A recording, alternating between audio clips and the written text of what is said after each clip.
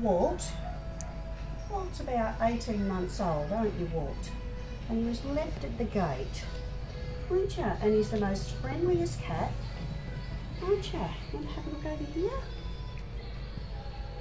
And he would make a lovely home for someone.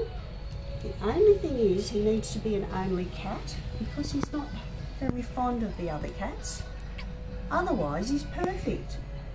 He's a snuggle bunny. Oh yeah, he'll sit on your lap. Purrs. He's just learnt how to play games. Haven't you? Hey, look at you. You need to turn around and have a look, show your pretty face. Come around here. It's the wrong end, Walt. Um, one of the ladies here called him Walt because he's got Disney on his collar that he came in with. Like, I think they're mini ears or something. So that's how he got it after Walt Disney. Oh, there we go. Hello. You say hello Hello, beautiful boy. You can sell yourself, Walt. You don't need to sell. Yeah, you don't need to sell you.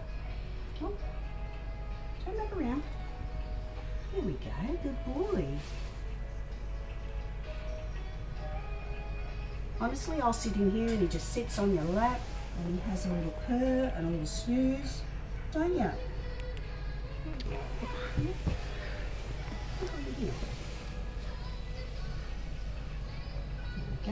And he does love his little treats. Don't you, Dom?